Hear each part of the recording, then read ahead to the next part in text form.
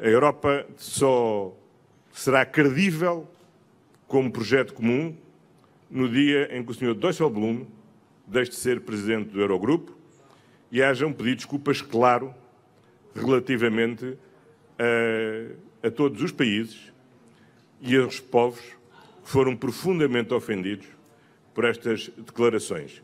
Even voor de duidelijkheid, u vindt niet dat uh, bijvoorbeeld uh, landen als Italië en Spanje en Portugal hun geld verspillen aan uh, drank en vrouwen? Nee, geen sprake van. mijn, de zin over drank en vrouwen betrof mijzelf. Ik zei, ik kan niet verwachten dat als ik mijn geld op verkeerde manier uitgeef, dat ik daarna financiële steun kan vragen.